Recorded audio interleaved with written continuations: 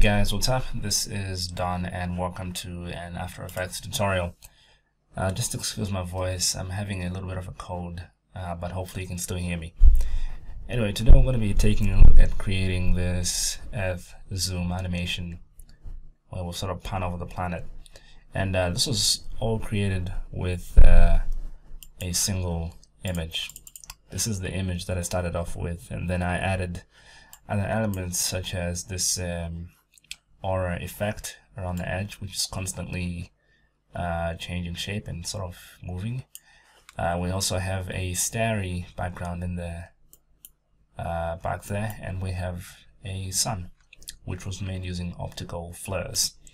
Okay, so let's take a look at how we get from this to this. So the first thing is we just need to drop this image into a new comp and uh, I'm gonna make this half res.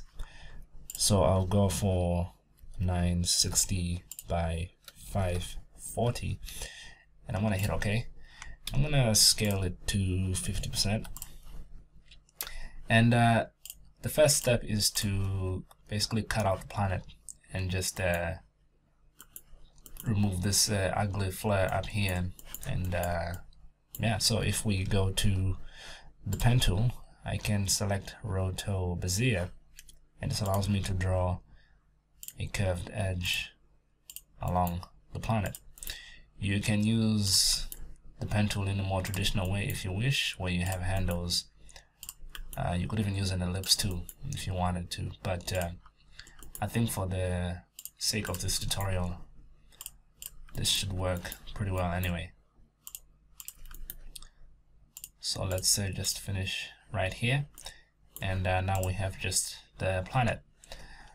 Uh, one other thing I should correct before I think of any animation is um, this is a bit tilted toward the right. I want this to be level. So if I go to the rotation I already did this in the practice run. I need to change this to minus 1.3 and uh, this is now going to be straight so let's uh, uh, next up you want to pre-compose that earth layer. Let's call this earth pre. Let's move all the attributes into a new comp. And by the way you can uh, do this with any planet picture you want. It could be a different image of the earth. It could be a completely different planet. Uh, it doesn't matter. As long as you follow uh, the key steps you'll be fine. Okay so we're going to duplicate that comp. Go to effect on the bottom comp. Go to blur and sharpen box blur. I'm gonna have a radius of 5 and 5 iterations. And this is going to give me a glow around the edge. I'm going to repeat edge pixels to close off that little dark edge there. I'm also going to tone this to be more blue instead of um, sort of white. Uh, so if I go to color correction, CC toner, in the midtones I can load up blue. And uh, the same for the highlights. So now I have a nice blue atmospheric look on the edge there. I'm also going to soften up this edge. I think it's uh, too harsh right now. So if I go into any of these comps, I can go to the feathering of this mask and maybe leave it at 5. So it's going to be nice and soft. And this is the result. Let's uh, rename uh, this comp at the bottom to be called Earth Pre. And uh, next up we can create the starry background. And for this we're going to begin with a solid 960 by 540 which is basically the same as our comp let's say I put this below everything and rename this stars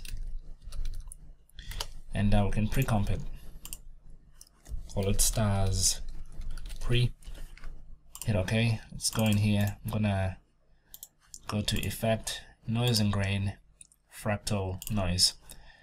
I'm gonna put the scale to just 4 the contrast to 250 and the brightness to minus 125 and this is going to give you like a star filled effect let me remove this guide I don't need it anymore I'm gonna duplicate the stars layer, Control and D, and set the blending mode to add. It's gonna brighten up everything, but um, you wanna go to your mask and just draw some random shapes. We're trying to create some areas which are brighter, sort of like a cluster effect, and this kind of looks like a smiley face or some sorts. Okay, let's uh, go to the brightness of this new duplicated layer and let's increase it. So we have uh, more stars in those masks. We can feather these masks out by maybe 75 pixels each.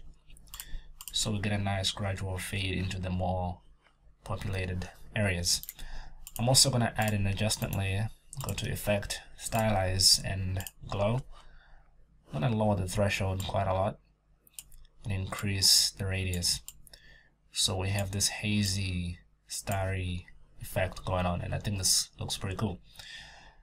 Going back to the main comp, this needs to be below everything and you can see it in the background right there. Okay, um, next up is that uh, aura effect. And for this, we're gonna be creating another solid let's call this the aura. And let's put this above the stars but below the two earth comps. Let's call this one earth glow just so we don't confuse these two. Anyway we're going to pre-comp this call it uh, aura pre. Hit ok. Let's uh, go in here. Let's add some fractal noise again. And let's go to the contrast let's set this to 300 and uh, the transform the scale will bring this down to maybe 65 or so. Uh, we, we want to animate this to be uh, just not stagnant like this. Because right now if we take a look at the example you can see that uh, this is constantly evolving throughout the entire animation. And uh, we need to do the same to this noise so if I go to the evolution, I can hold ALT on my keyboard and set an expression here. And in the expression editor, I'm just going to type out time times 50. And uh, to generate this evolution value, basically After Effects is going to look at the time and times it by 50. So you get a continuous animation which never ends. So you don't need any uh, actual keyframes. Okay, uh, we need to we need to make it uh, look wispy and uh, look like rays of some sort. And uh, for this, we're going to be using CC Radial Blur, which can be found in the Blur and Sharpen submenu and CC Radial Blur. And uh, we're going to put the amount to 50 and the type to straight zoom. And then we need to get the center and pull it all the way down and if I hold shift this is gonna go straight down. And you can see these rays are pointing upward now. The reason I use CC radial blur instead of directional blur is that you get angled strokes to begin with and they straighten out and then they angle out again. And if you look at the shape of the earth it kind of follows that. So in the earth comp we're gonna go to our pen tool go on the aura layer and let's just uh, draw out a random mask around the edge here. Skip going all the way around and close this off. Oops. There we go. And I'm gonna feather this by maybe 50. So we get this uh, aura effect which is constantly moving. This might be a little bit too high, so I'm gonna go to the mask expansion and just uh, lower this down. Okay, I think we're looking pretty good so far. Let's uh, tone this to be green. I'm using our CC toner effect once again. So color correction and CC toner. For the midtones, we're gonna go for a greenish color, something like this. And for the highlights, we're gonna go for black. And that creates a nice contrast. But if you want to boost that contrast, you can go to uh, color correction curves and uh, let's lower the blacks and bring out the whites like this. So you get some nice uh, strong contrast there. Maybe just desaturate this uh, green and maybe brighten it. I think uh, we're in the money. Alright uh, the next element is obviously the sun. So for this one create a new solid call this the sun and let's put this above everything. Let's go to effect video copilot and element. Oops. I'm so used to using element I always just grab it by accident. Uh, we need actually to get optical flares. Let's go to the options and there's a really good preset somewhere. Uh, let me see if I can find it really quickly. Okay. Uh, it's the real sun uh, preset. I'm just gonna hit OK. Set the blending mode to add. And we basically want to move this to about here or so there's way too much glow on this so I'm gonna go to the options go to the main glow element here and uh, go to its gamma and set this lower. So something like 0.5 is gonna work pretty well. So it's not as uh, overpowering as it were before. I'm also gonna just shift the center position to be around about here. And uh, we can just animate this moving up so at frame 0 we're gonna set the position. Go to 5 seconds. And let's move this up. Maybe move it out of the frame completely. Or just sort of halfway so we can just see that little bit of a glow but it's still just there and uh, we're gonna go back to frame 0 and uh, put this up about here. Okay so this is just gonna animate out. I'm gonna move this center point to be around about here also. Okay so now that we have all the elements set in place we actually want to animate them to have that sort of pan over zoom effect. So if I uh, pre-compose a few of these elements we're gonna get the earth pre earth glow and aura pre. We will leave the stars and the sun.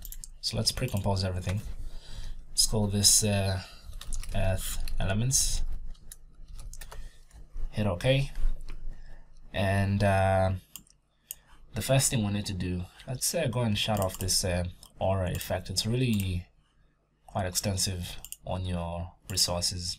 Uh, takes a lot of processing to do those rays. So let's shut it off for now so we can work a little faster Okay, with the edge elements selected, we want to move the anchor point to the top edge here, between uh, where the planet finishes and where this glow begins, basically. So this also needs to be centered. So if I enable my title and action safe, I can uh, use this as a guide. If I go to the pan behind tool, I can get this anchor point right here and move it to the top and I can just check with the guide to see if that's actually centered and uh, it is. We can shut off the guides for now. And basically just want to animate this scaling up.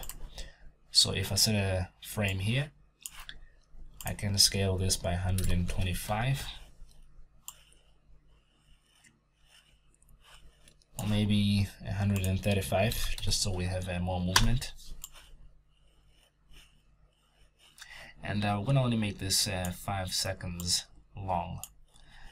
And uh, you can see that this looks very 2D and looks very fake. We don't get that uh, perspective uh, effect that we get with this other animation.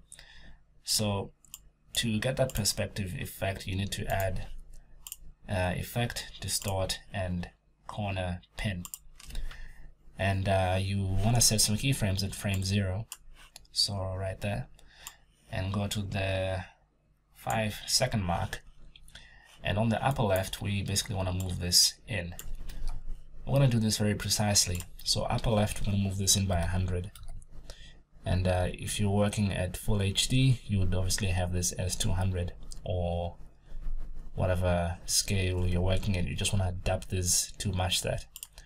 For the upper right we want to bring this in so we'll set the upper right to 960 minus 100. and uh, that's going to move in this direction.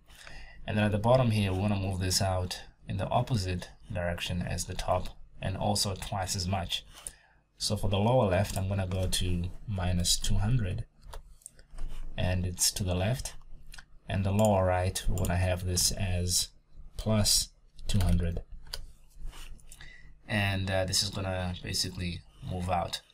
So what we get is uh, this sort of expanding uh, animation which obviously doesn't look uh, that great.